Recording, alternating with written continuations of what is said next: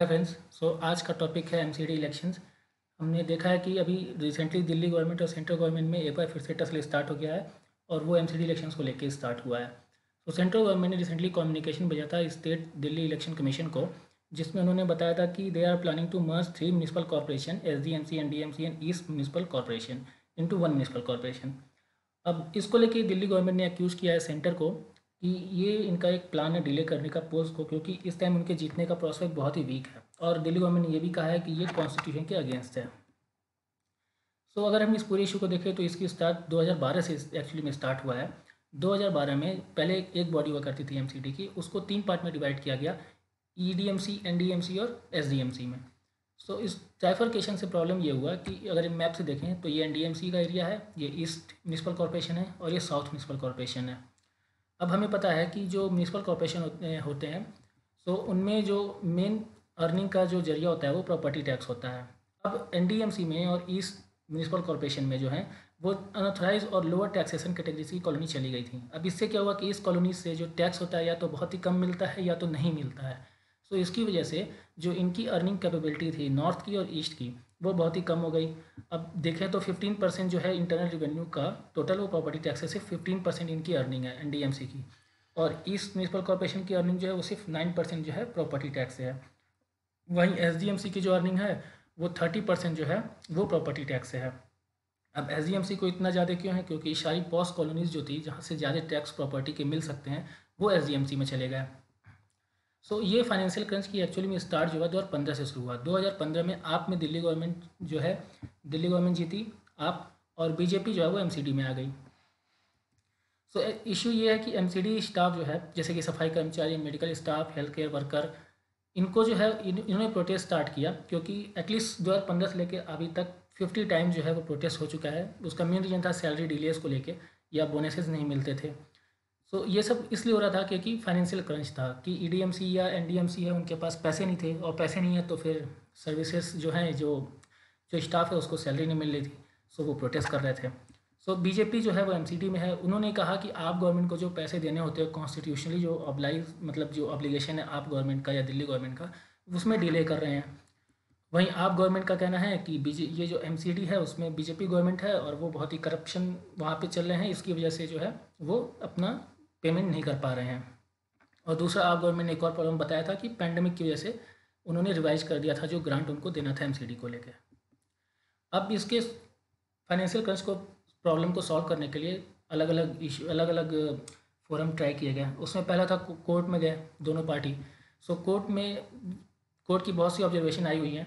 But अगर main देखें तो उन्होंने एमसीडी को एक बार कहा था कि अगर आप सर्विस नहीं चला सकते, ठीक है? अगर आप सैलरी नहीं पे कर पा रहे डॉक्टर्स को तो आप अपने हॉस्पिटल बंद कर दीजिए। या तो दिल्ली गवर्नमेंट चला लेगी, या तो सेंट्रल गवर्नमेंट चला लेगी। अब इसके जो, हमें पता है कि हॉस्पिटल जो होता है, वो रेवेन्यू एक्सपेंडिचर है, क्योंकि गवर्नमेंट जो होती है, वो हॉस्पिटल से पैसे नहीं कमाती प्रॉफिट नहीं कमाती। सो वो ज़्यादा खर्च हो रहा है, उसमें अर्निंग नहीं होती है। सो इसलिए कोर्ट ने कहा कि आप रेवेन्यू एक्सपेंडिचर कम करो, ठीक है? तो आप अपना हॉस्पिटल बंद कर दो, या हैंड ओवर कर दो। वहीं दिल्ली गवर्नमेंट को एक ऑब्जर्वेशन उन्होंने दिया था कि आप जो है spending on propaganda through ad expenses advertisement पे ज़्यादा खर्च करते हो और एम सैलरी नहीं पा रही है एम के लोग तो क्या ये क्रिमिनल ऑफेंस नहीं है? मतलब कि ये क्रिमिनल नहीं है? सो so, अब दूसरा सॉल्यूशन जो था कोर्ट में हमने देखा कि कोर्ट में इश्यू अभी तक लगातार चल ही रहा है और उसका कोई प्रॉब्लम अभी तक मतलब सॉल्यूशन नहीं निकला बहुत ज़्यादा कोई। सो so, जो दूसरा सॉल्यूशन था वो था कि अपनी अर्निंग को बढ़ाते हैं टैक्सेशन के थ्रू हमें पता है कि जो गवर्नमेंट होती है वो टैक्सेशन से इनकम अपना लाती है। सो so, ईडीएमसी e ने जो म्यूनसिपल कॉरपोरेशन है ईस्ट वाली उन्होंने प्रपोज किया कि जो प्रोफेशनल्स होते हैं जैसे कि डॉक्टर लॉयर ठीक है वो अपनी जो सेक्शन में ईडीएमसी e की सेक्शन में क्लिनिक खोले हुए हैं या वहाँ से सर्विस प्रोवाइड कर रहे हैं। So they are utilising the services offered by E like parking है सैनिटेशन है सो so, वो सर्विस वहाँ पे यूज़ करते हैं। सो so, इन्होंने प्रपोज किया कि इन प्रोफेशनल्स पे जो वहाँ पे जॉब कर रहे हैं ठीक है कॉलोनीज़ में उन पर नया टैक्स लगाएँगे। उसको प्रोफेशनल टैक्स नाम दिया गया और उसमें था कि हंड्रेड रुपी पर मंथ ऐसे लोगों से जो फाइव लाख पर ईयर से ज़्यादा कमा रहे हैं और दो सौ रुपये पर मंथ ऐसे लोग जो दस लाख से ऊपर कमा रहे थे। दूसरा टैक्सेशन प्रपोज किया गया था बेटरमेंट टैक्स बेटरमेंट टैक्स वो होता है जैसे कि अगर आपकी कॉलोनीज़ है कॉलोनी है या लैंड है प्रॉपर्टी है, उसके आसपास गवर्नमेंट ने इन्वेस्ट किया एक्सपेंडिचर किया, जिसकी वजह जैसे मेट्रो बना रोड बना पब्लिक इंफ्रास्ट्रक्चर पे खर्च हुआ तो उससे आपके एरिया की या प्रॉपर्टी की जो वैल्यू होती है वो बढ़ जाती है। सो उस पर इन्होंने प्रपोज किया कि हम फिफ्टीन परसेंट जो है प्रॉपर्टी टैक्स में इंक्रीज करेंगे। मतलब यह फिफ्टीन परसेंट प्रॉपर्टी टैक्स का जो है बेटरमेंट टैक्स के नाम पे लिया जाएगा ऐसी कॉलोनी से ऐसी एरियाज़ से।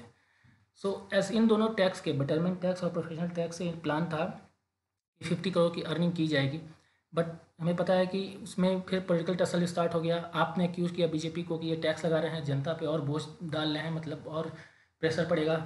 सो अब बीजेपी को भी इलेक्शन लड़ना होता है ई का तो म्यूनसिपैलिटी के इलेक्शन में दोनों लड़ना था तो फिर ई ने अपना जो प्रपोजल था, दोनों टैक्स का वो विदड्रॉ कर लिया।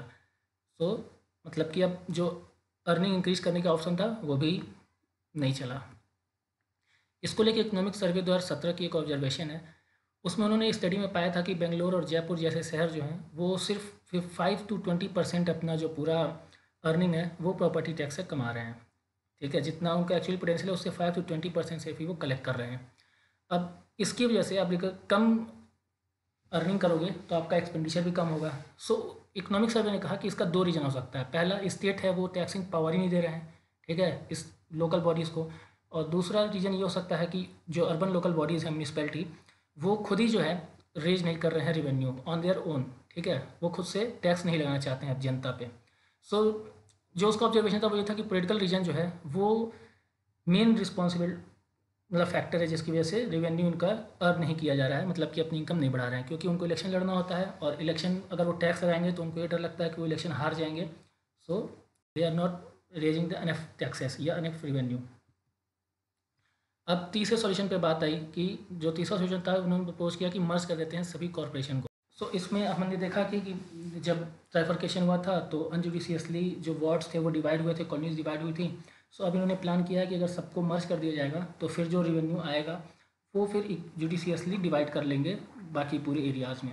सो ये तीसरा सोल्यूशन उन्होंने सोचा है मर्ज करने का सभी कॉरपोरेशन को। अब इसके बाद नया टसल शुरू हो गया है। नया टसल ये है कि सेंट्रल गवर्नमेंट ने इसको लेके कम्युनिकेशन भेजा कि हम मर्ज करने जा रहे हैं। सो आप जो है स्टेट इलेक्शन कमीशन को ये कम्युनिकेशन भेजा कि हम मर्ज करने जा रहे हैं तीनों कॉरपोरेशन को। सो अब इसे स्टेट इलेक्शन कमीशन ने पोस्टपोन किया इलेक्शन के नोटिफिकेशन को। सो अब दिल्ली गवर्नमेंट एक्यूज़ कर रही है स्टेट इलेक्शन कमीशन या बीजेपी को कि they are afraid of election कि वो इलेक्शन से डरते हैं और इलेक्शन पोस्टपोन जो है वो वायलेशन ऑफ़ कॉन्स्टिट्यूशन है। सो हम देखते हैं कि वायलेशन है कि नहीं कॉन्स्टिट्यूशन का। तो कॉन्स्टिट्यूशन प्रोविज़न ये कहता है कि article two forty three U है जो ड्यूरेशन फिक्स किया है म्यूनसिपैलिटी का पाँच साल का। सो so, अब पाँच साल के मतलब अगर आज आपकी कोई म्यूनसिपैलिटी चुन के आ गई है तो वो पाँच साल तक रह सकती है। उसके बाद आपको, उसके अगले ही दिन बल्कि आपकी नई म्यूनसिपैलिटी आ जानी चाहिए, ठीक है? उसके पहले भी आ सकती है बट पाँच साल से डिले नहीं हो सकता। अब इसको लेके जो, अब जो रिसेंटली जो थर्ड सोल्यूशन हमने देखा था मर्ज करने का, उसको लेके सेंट्रल गवर्नमेंट ने अभी नया जो एक बिल है, इस सेशन में उन्होंने वो लाने जा रहे हैं, Delhi municipal corporation act twenty twenty two इसी एक्ट के थ्रू वो मर्ज करेंगे तीनों जो म्यूनसिपल कॉरपोरेशन है उनको, ठीक है? अब अगर ये वाला बिल पास हो जाता है, ठीक है, और इलेक्शन कर लेते हैं टाइम में तो वो कॉन्स्टिट्यूशन का वायलेशन नहीं होगा। क्योंकि जो अभी जो गवर्नमेंट जो दिल्ली में म्यूनसिपैलिटी का जो फाइव ईयर टर्म है, वो अट्ठारह मई को एंड होगा। सो अभी डेढ़ महीने के आसपास टाइम है।